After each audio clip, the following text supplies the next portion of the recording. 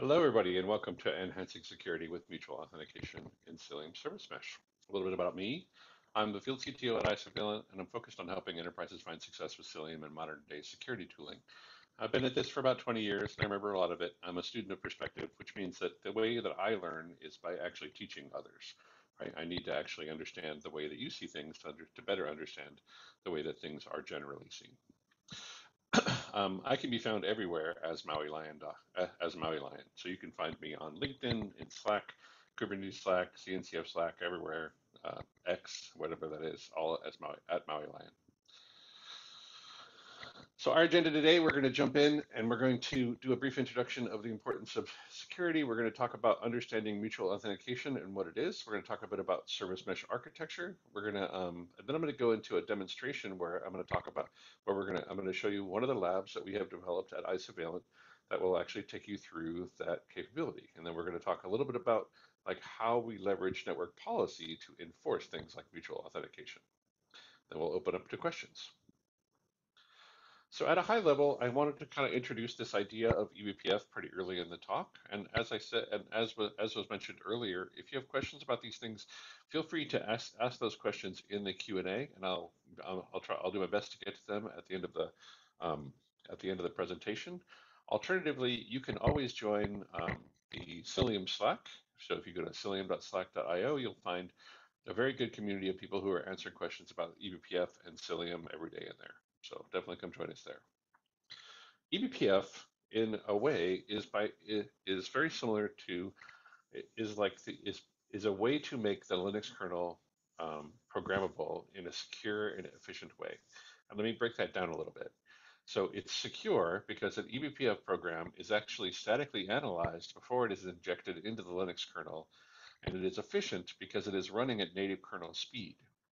And what the what eBPF allows us to do is effectively, if you think about the Linux kernel as an API, an event-driven API, when I open a file, when I open a new network socket, when I make a connection from some application leveraging curl or what have you, all of these things represent API calls to the Linux kernel. And what eBPF does is it allows us to see those calls, gather context about those calls, whether those calls were successful or not, whether the um, what the actual what the metadata and context around that particular call was, and also it gives us the ability to manipulate that call. So in our case, we have the ability to, for example, uh, transparently proxy traffic coming from an application based on the destination of that traffic through another process if we wanted to, to be able to better secure or manipulate the traffic coming from an application to another application, say in a Kubernetes or container orchestration environment. So eBPF is actually incredibly powerful, and everything in the Linux kernel is available to eBPF as a service that can be configured. Whether that means file a file open, whether that means a new network socket, any of those things, we can actually do all of the, we can apply eBPF to all of those components. In this example, I'm showing you the difference between being able to manipulate say a file descriptor or a block device. And another one, and, and in another example, I'm showing you the difference between opening sockets, a TCP IP address connection, a network device. All of these things are places where all of these areas are areas where we can apply eBPF programs. So Cilium is, so what is Cilium? Cilium is a networking and security and observability product. Um, and it fundamentally is a way to change the way that we think about networking and observability by taking it from uh, from by by instead of thinking about networking as a component that is below your application layer, we're thinking about networking security and observability at the application layer. So just like I mentioned in the eBPF case, when we actually implement Cilium, we're actually implementing this in eBPF. So when connections are moving back and forth between pods in a, in a Kubernetes cluster, or when we're determining whether to allow or deny traffic, we're making that determination on traffic at the Linux kernel layer, leveraging an eBPF program, instead of waiting for that traffic to go all the way down to the host layer and leveraging things like IP tables and other tools like that to be able to enforce that type of traffic. So we can actually do quite a lot in eBPF at that layer and natively in the Linux kernel before this traffic ever has to go down and uh, and and be affected by the lower level components of things like IP tables or things like the Linux routing table. We can actually accomplish quite a bit up at the top. And from the security perspective, it's the same thing, right? eBPF gives us the ability to ensure that we make decisions based on network policy, whether to allow or deny that traffic, even before that traffic is actually uh, egresses that particular container, because we're making that decision at the Linux kernel layer, not necessarily all the way down at IP tables, etc. And observability, last, I, I, mentioned this last, but in my opinion, it's probably the most important piece of it. Everywhere Cilium or an eBPF program touches the packet, we can export or um, expose metadata or context about what we did and also what we saw at that layer. So we'd be able to show you for this given application, what did it try to connect to? What, did we allow it or deny it, etc. And so we actually, as, as part of the Cilium product and also the Tetragon product, we expose an, an event stream that shows you exactly what's happening in your infrastructure, both at the networking layer and at the application layer at all times. It's pretty powerful stuff. To get into the service mesh piece of it, I wanted to talk a little bit about this, this, this map here, because this is kind of how we think about how all of this works. If today you were evaluating service meshes, you might consider a service mesh to be a collection of use cases and those use cases might apply as ingress, the ability to authenticate between workloads, the ability to manage traffic in some unique or interesting way, like being able to do canary-based routing or header-based routing for traffic coming into your cluster, so that you can do things like A-B testing or um, red-green testing, however you want to consider it. These use cases we think are very important to uh, the to a, to solving some of the networking networking security and observability challenges in the market today. And so instead of thinking of this as a separate product, we've actually started considering these things, these particular use cases, as features of the Cilium components themselves. So Cilium Service Mesh is really just us taking those use cases that we see in other Service Mesh products and applying them to our existing product set. An example of this is, uh, say, layer seven network policy. The ability to define the ability, the ability to define that a pod can access another pod or an application can access another application, uh, but only on specific API paths and only with specific HTTP verbs, for example, right? So I'm going to allow this application to communicate with another application. It can do a get, it can do a put, it can do those things, but it can't do a delete or a, you know, or those sorts of things. And it can only do those things on specific API paths. So in that case, that's something that we've actually had in Cilium network policy for quite a long time, even before we started getting into the service mesh space, right? That layer seven network policy is something that we have implemented in eBPF for quite, for quite a while. And from the authentication perspective, we've also had that one for since the inception of the Cilium project, wherein we give every workload its own unique identity, and we also give every workload an identity that is coupled with a union of labels associated with that workload. And that identity is actually how we go about enforcing traffic on whether we allow to, uh, or deny ingress or egress traffic in these environments. So Cilium is absolutely an identity-based solution. And when we talk about how we leverage this in mutual authentication, you're going to see that we actually couple that underlying construct of identity with SPIFFE to better enable things like mutual authentication between applications. Let's get into it a bit more. I'm going to shoot through this phase because I don't think it's going to be super important to our to our understanding, but I wanted to kind of like lay this down, right? So thinking about service mesh and its origins, right? The ability to actually have have multiple types of application or other individual types of application, and the ability to do things like enforce traffic between them service mesh with sidecars. This is a, probably the most common model today, wherein we have some application, we have some other application, we put a sidecar into the same pod, and we actually use that sidecar to handle things like uh, mutual TLS between these applications. That way the applications themselves don't have to be aware of the uh, encryption between them. They just, they, we, we move all of that work to the sidecar proxy.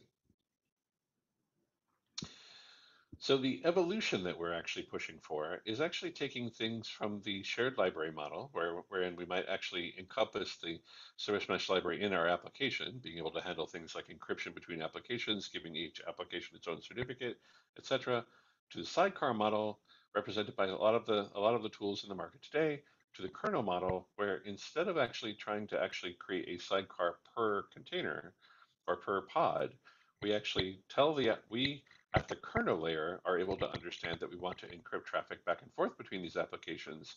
And we uh, use eBPF to identify that traffic that we want to encrypt, and we handle that at the kernel layer. We're going to talk a bit more about how all of that works as we proceed.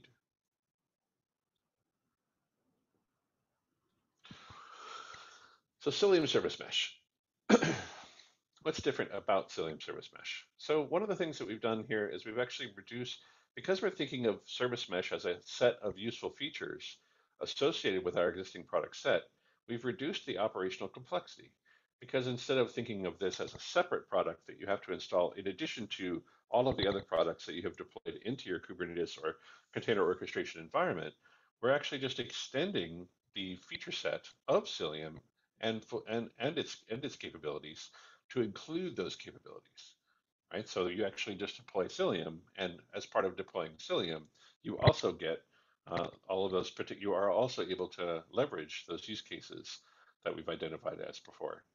And because of that, it's a it's a reduced resource usage, right? You're not paying on a per you're not paying a per um, pod sidecar cost. That's one of the things that actually I think is one of the hidden costs of a lot of the sidecar models is the compute and memory for all of those sidecars. If you're paying it once per pod, that can get pretty expensive. We can ensure better performance because we're able to actually do these things at the kernel layer. And last, we can avoid the sidecar startup and shutdown race conditions that we see in other environments. So this highlights that, that efficiency model, right? If you had 30 pods and you had 30 sidecar pods, you would actually be talking about 30 proxies per node, and you're paying that CPU and memory cost. In most cloud environments, you pay by the second, right? So every one of these things actually costs you money. In a scenario where instead we actually move to this model where there's a where we're able to interpret that every application wants to encrypt this traffic or handle service mesh use cases between those applications, and we're able to implement that in eBPF, we can be a lot more efficient about how that's done. I am now going to show you some latency numbers, and then I'm going to jump into the demonstration here and kind of show you a little bit more in a hands-on way about how all of this works. So latency numbers, if we actually look at these latency numbers um, on a with us versus Istio, which is one of the sidecar solutions, this actually gets into the the, the fact that um, a sidecar proxy does actually incur some latency, which is pretty normal. And because we're actually able to uh, handle the, um, we're able to manipulate that traffic transparently in the Linux kernel, we're able to be a lot more efficient about the requests per second. Max throughput actually works out to be pretty much the same. Pod ready performance, obviously because we're only waiting for the pod to start up, we're not adding another sidecar. It actually does great, uh, take quite a bit less time for things to get started up. Now, let's jump into some of the features of Cilium Service Mesh. Actually, at this point, I think I'm going to jump into the demonstration. But before I do that, I want to talk about this slide and the one right after it. So mutual authentication, this is the topic that we're here to talk about. This is actually how we think about um, handling uh, encryption or and authentication between workloads. Now, in this case, the, the, there are a couple of important things to understand. The first thing that's important to understand is that for these two applications, right, we have identity A, which represents maybe multiple pods, and we have identity B, which also represents multiple pods. We are going to decouple identity from encryption. Because we already have identity associated with every one of these workloads, and we already have the ability to handle things like encryption back and forth, you know opportunistic encryption leveraging IPsec or WireGuard. what we're going to do is we're going to decouple identity and encryption. In most use case, in most of the service meshes out there, these things are pretty tightly coupled, right? That sidecar is going to actually represent both the identity and the mechanism by which you are going to encrypt traffic back and forth between applications. But in our model, this is actually decoupled. In our model, we're going to give every application its own identity, and then we're going to extend that identity to represent a certificate allocated, an identity allocated to that workload by SPIFFE. And when SPIFFE allocates a certificate to that identity, that certificate can be leveraged to handle things like mutual authentication between workloads. So when we require that mutual authentication happen between these two workloads, what we're satisfying there is the authentication challenge between them. That this identity is technically able to authenticate and prove its identity to another uh, another identity or to the other workload. And once that application and once that authentication has happened, then we can move to the encryption part of it or the ability to ensure that that traffic is uh, tamper free by upgrading it to by leveraging IPsec or WireGuard encryption to encrypt that traffic between the two workloads. But fundamentally, we are going to decouple identity from encryption. And we're going to leverage uh, identity and authentication to prove that these things can communicate and that we can prove on either side that those applications are who they say they are. And then we're going to leverage encryption to ensure that the communication between those applications is tamper-free. This is an example of what the MTL of, of what the mutual authentication policy would look like. If you want to require authentication for connections to backends, this is an example of a Cilium network policy that enables this. When you enforce auth required strict, you're saying that all workloads that match the um, role backend when trying to when when handling ingress traffic from match labels role front end that we have to authenticate that traffic before we allow that traffic to begin. Now let's jump into the demonstration here where I can actually show you how all of this will work.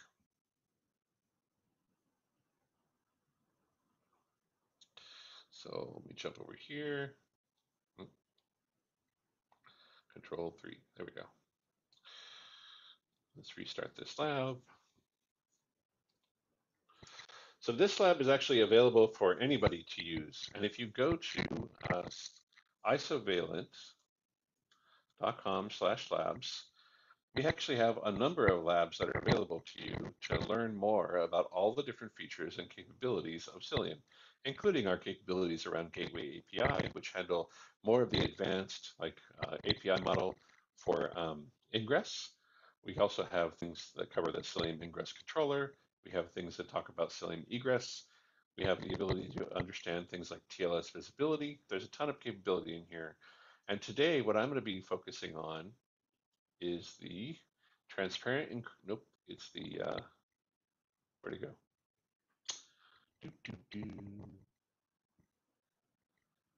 Oh, sorry, it's further up. I'm going to be handling this one here, which is mutual authentication with Cilium. And if you take this lab, you will be able to actually get a badge associated with the lab. So if you if you are interested in understanding more about mutual authentication, this is actually how where you can go and learn more about how we think about the problem and how we're actually showing this capability. But for now, let's go ahead and get started on this lab. Got about 22 seconds left. Any questions that you have during this presentation, feel free to put them in the Q&A section and I will be sure to get to them at the end of the uh, presentation here.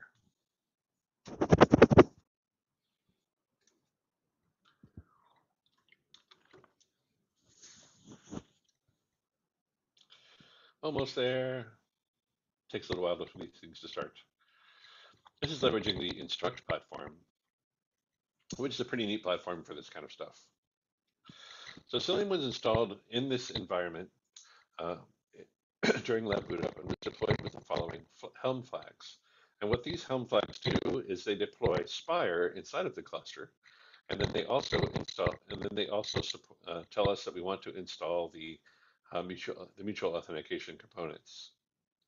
To verify that mutual authentication was enabled, we can actually take a look at the Cilium config to see if that was in fact enabled, right? And when we look at that Cilium config, we can see that these things are component, uh, these, these components are enabled and deployed within our cluster.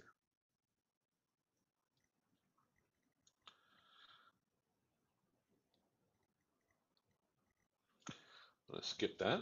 We'll keep going. So let's get the demo app deployed here.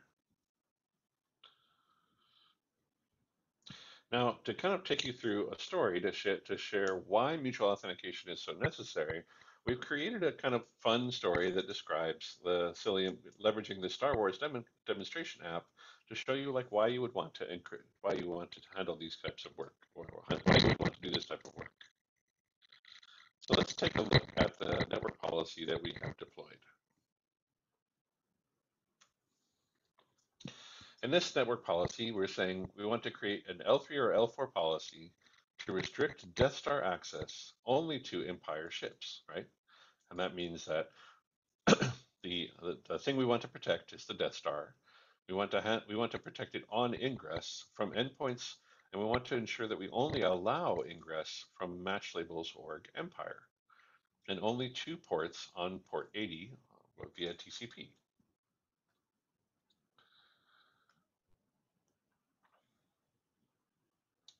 Let's take a look and see if the Death Star has been successfully deployed.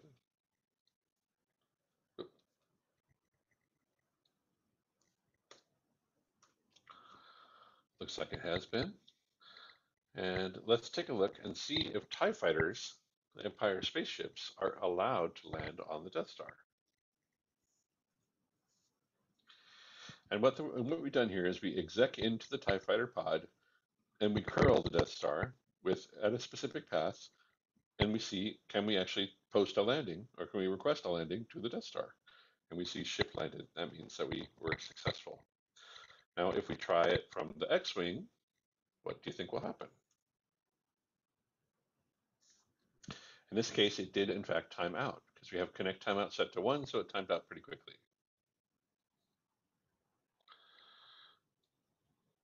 Now, in this case, what we're doing is we're just using layer three, layer four policy to and to uh, enforce network policy back and forth between the different types of ship and the Death Star itself. The X-Wing cannot connect to the Death Star. While the Empire security operators are aware an HTTP call to a particular path might cause the Death Star to explode, surely no officers would want to cause damage to the Empire. Is the Empire safe, or is it?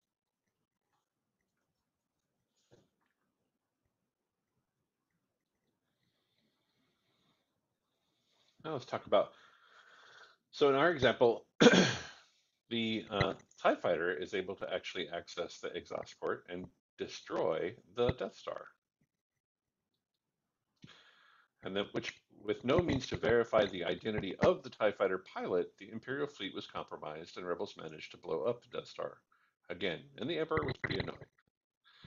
So we want to protect the empire. So Emperor Palpatine wants you to implement an MTLS-based mutual authentication so that the next Death Star is safe. By using MTLS-based mutual authentication, the empire can add strong identity authentication leveraging X509 certificates. The time to enforce mutual authentication by updating the network policy. So in our example, based on our configuration, we can actually do that work pretty easily. So rolling out mutual authentication with Cilium is as simple as adding the following to an existing or new Cilium network policy, given that Cilium was deployed with these features enabled. So let's take a look at that now. Let's take a look at the policy that we've defined. And we can see that we are enabling the ability to post against request landing, and we're also enabling authentication mode required.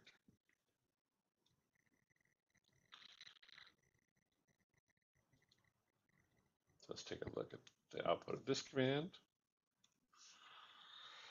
So the difference between these two are we're actually enabling authentication mode required, and we're also being very specific about what particular path we're creating layer seven network policy that says you can do a post against request landing if you are authenticated, if you're a ship that's coming from the Empire.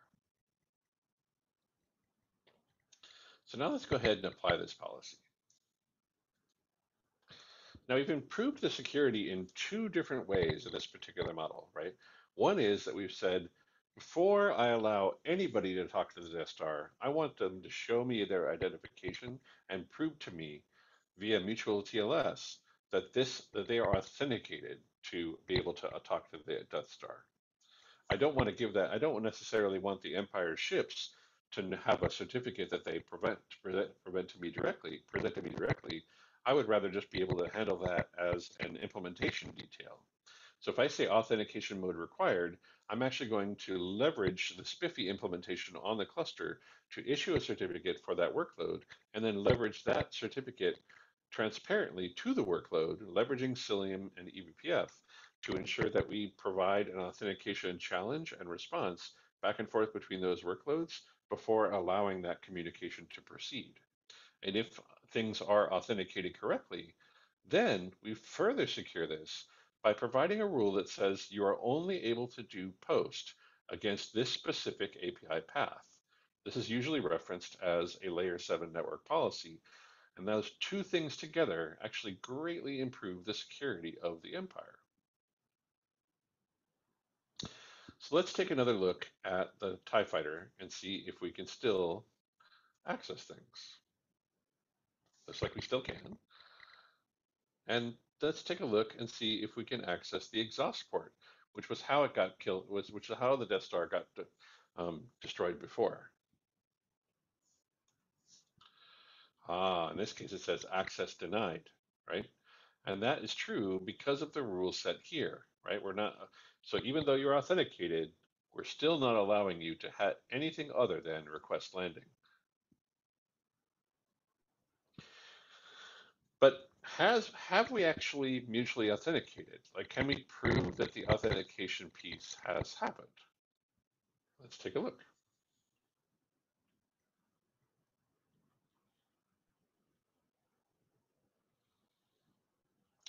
So Palpatine is not convinced that the Death Star is secured. He wants to see an evidence of the mutual handshake. He needs observability. Hubble is the tool that we use to be able to show you all of the things that are happening inside of your environment, right? So all of that event data, all that context that I talked about that we can gather at the eBPF layer, we push all of that down to an event stream. And Hubble is the way that we actually can parse that event stream to understand what's actually happening. Extended that event stream to also understand where we are in the state of mutual authentication. Let's take a look at Hubble version. We're version 12 CE. And if we wanted to observe the mutual authentication with Hubble, let's run that connectivity check again.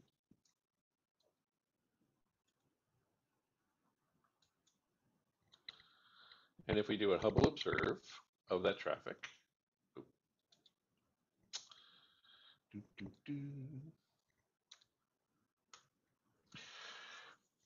we can see a policy dropped.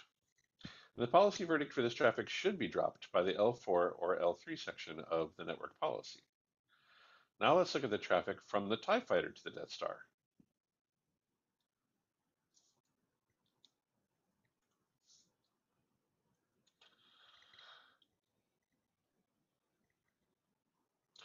Network policy should have dropped the first flow from the TIE fighter to the Death Star service over request landing.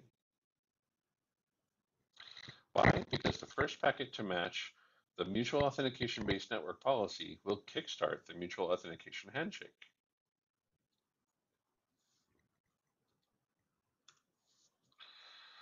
So here's where we're actually seeing that drop packet.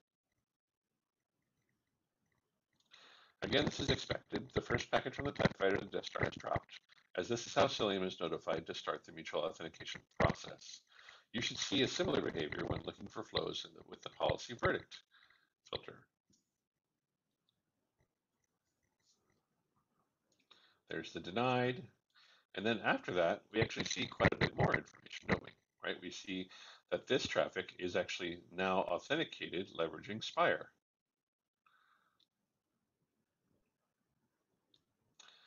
This is a way for us to actually show you, this is the first connection back and forth between L4 and L3 were allowed.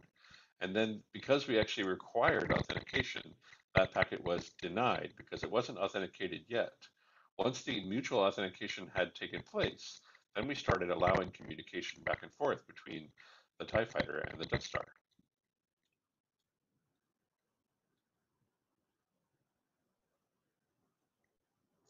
And any subsequent event that we expose will describe that this, this handshake is executed. Now, what's interesting about this is that authentication piece, you might think is actually just you know, the standard MTLS authentication component, wherein we actually describe that this, you know, these, these two applications, the Death Star and the TIE Fighter, the TIE Fighter has a certificate that's associated with it leveraging SPIFFE. Cilium will leverage that certificate to authenticate to the uh, Death Star identity before it can actually, so it can handle that authentication handshake. As part of that process, there is a, there is a step that is actually leveraged, which is called attestation. Attestation means that I not only want to verify that this certificate is trusted by a trusted CA, but is issued by a trusted CA, but I also want to ensure that the workload that I'm going to go talk to over there is actually still present on that node. I want to do a third party or extended assertion to make sure that the certificate that was presented to me as part of that authentication handshake is still valid is still right is, is still useful and uh, and should be trusted in those environments. Well, some of the things that we do to ensure that that continues to be true is that we before actually allocating a certificate to a workload, we ensure that that workload was scheduled on that node, and we do a third-party attestation from that perspective. And when that workload is descheduled from the node, we remove that identity from we remove that um, that certificate from use, which means that it would no longer be valid and we would not be able to actually authenticate to it. So this isn't just a simple certificate certificate check. There's also layers of attestation throughout the whole process, which is some of the work that is actually behind this SPIFFE and Spire project itself.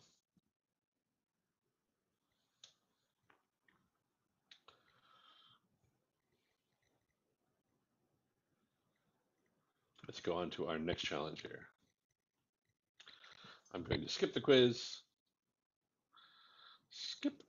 If you would like to actually take the quiz, that is how you can get a certificate. So the Emperor's paranoia is getting out of control. While you impress him with your knowledge of cloud native security, he wants to know exactly where the identities of the officers are stored and whether certificates are automatically issued and rotated. It's time for you to explain to the Emperor how Cilium integrates with SPIFFE. Identity management. To address the challenges of identity verification in dynamic and heterogeneous environments, we need a framework to secure identity verification for distributed systems. And this is actually what I was just referring to in that last in that last segment. The benefits of SPIFFE are that it is a trustworthy identity issuance. SPIFFE provides a standardized mechanism for issuing and managing identities, and it ensures that each service in a distributed system receives a unique and verifiable identity, even in dynamic environments where services may scale up or down pretty frequently. And that identity attestation, SPIFFE allows services to prove their identities through attestation.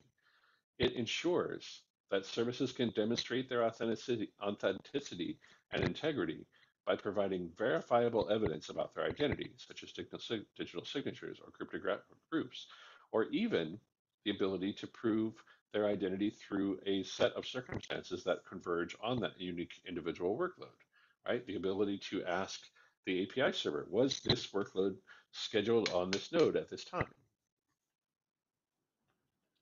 So combining these things all together, we get a very secure mutual authentication mechanism with SPIFFE.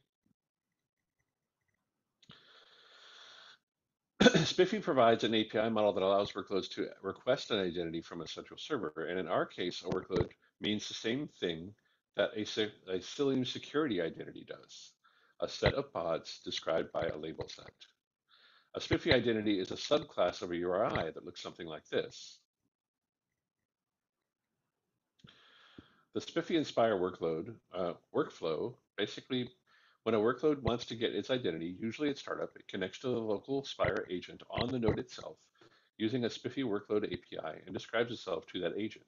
The Spire agent checks that that workload really is who it says it is, and that that workload is scheduled and running according to what, what it says it is. And then connects to the Spire server and attests the workload is requesting an identity and that that request is valid. The Spire agent checks a number of things about the workload. Is the pod actually running on the node is it coming from? Do the labels match? And so on. And once the Spire agent has requested an identity from the Spire server, it passes that workload in, in the SVID, the SPIFFE verified identity document format. And this document includes a TLS key pair in the X509 version. In the usual flow for Spire, the workload requests its own information from the Spire server. But in Cilium support, this is actually an implementation detail. The Cilium agent gets a common SPIFFE identity and can ask the ask themselves and can themselves ask for identities on behalf of other workloads. Let's learn more. So the Spire server was automatically deployed when we installed Cilium and when we enabled that mutual authentication feature. And the Spire environment will manage TLS certificates for workloads managed by Cilium. We can take a look at the deployment of Spire by taking a look at this piece. The Spire server stateful set and Spire agent daemon set should both be ready. And let's run a health check and see if things are working correctly. Looks like things are healthy. And let's verify the list of Spire agents. So we can see that we actually have a couple of different agents. Note that there are two agents, one per node. So if I were to do kubectl get nodes, we can see that there are a couple of different worker nodes here. Notice as well the Spire server uses Kubernetes projected service accounts, PSATs, to verify the identity of a Spire agent running inside the Kubernetes cluster. To verify SPIFFE identity, let's verify the SPIFFE. Now that we know that Spire service is healthy, let's verify that Cilium and Spire integration has been successful. First, verify the Cilium agent and operator identities have on the on the SPIFFE on the Spire server. So we can see the agent and we can see the operator. Let's verify the SPIFFE identity for the Death Star.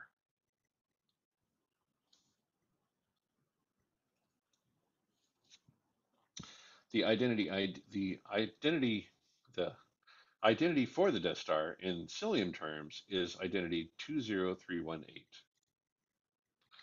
That uniquely identifies that workload as based on the Cilium identity. It follows the SPIFFE Cilium identity identity ID format. To verify the Death Star has the Death Star pods have registered have a registered SPIFFE identity on the Spire server. Let's take a look at that.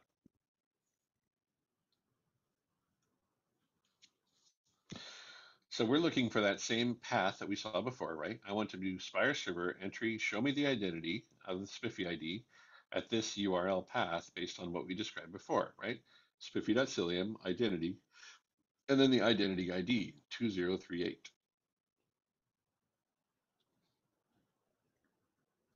And we can see that the Cilium operator was listed as the parent ID. That is because the Cilium operator is responsible for creating Spire entries for each Cilium identity that mutual authentication is enforced for. And you can list all the registration entities with this command.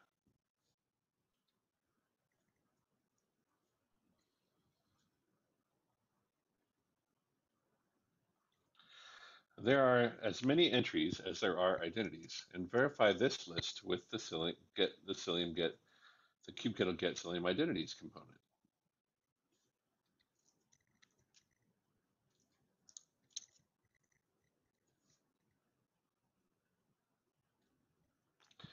An SVID is a document which, with, with which the workload proves its identity to a resource or caller. An SVID is considered valid if it is signed by an authority within the SPIFFE ID's trust domain.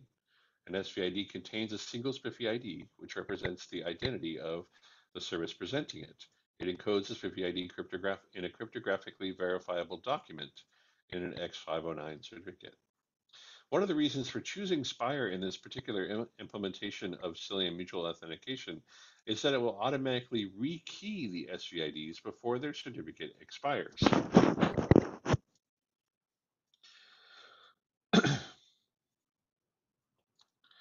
and when this happens, it will notify SVID watchers, which include the Cilium agent.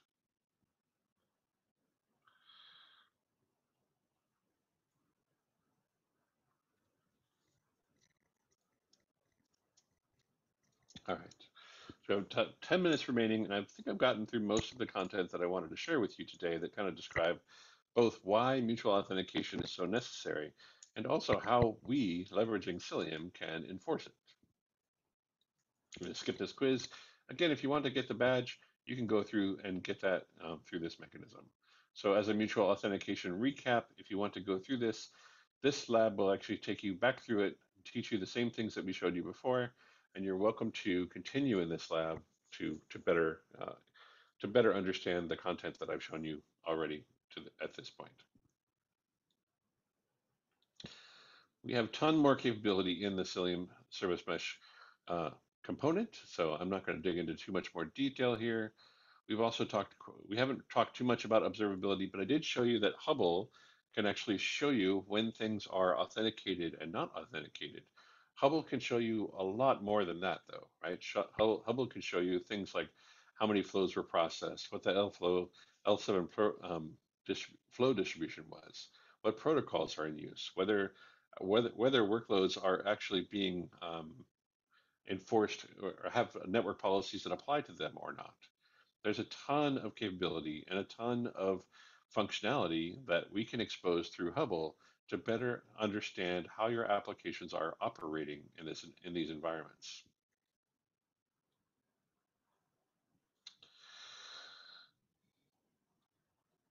We can also do things like connectivity troubleshooting, the ability to understand what's actually happening. So a lot of times folks uh, see this stuff and they're completely amazed with how much we can actually expose from the perspective of what's available from the from the data that we're actually showing at the at the underlying layer, network layer.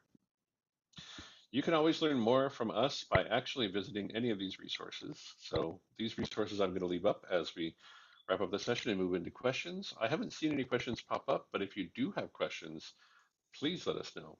My friend Erica also points out that um, later this week on Friday, we're going to start a new session here um, a, new a, a, new section called Elevating Kubernetes Observability with Cilium and Hubble.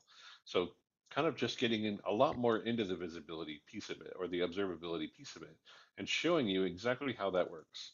If you'd like to sign up for that, you can go to the link that's actually in the chat and you can actually come and join me. I'll be one of your hosts. We'll also have my good friend Christopher Luciano, who will be also hosting us. We are, there are going to be three different sessions. There's going to be a lot of really great content. Please come join us for those things. And lastly, of course, if you're going to be at KubeCon and you see a face that looks like mine, come say hello. I'd love to see you there.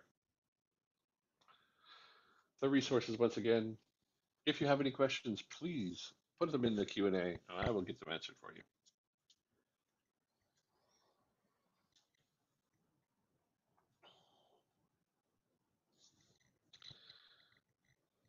And that, if there are no questions, or if you want to reach out to me personally, you can find me in the Cilium Slack. You can find me on X. You can find me in all kinds of places. I'm at Maui Lion, and I'm always happy to engage with folks. So if you have questions, or if you want to hear more or learn more about any of this stuff, please reach out and let me know.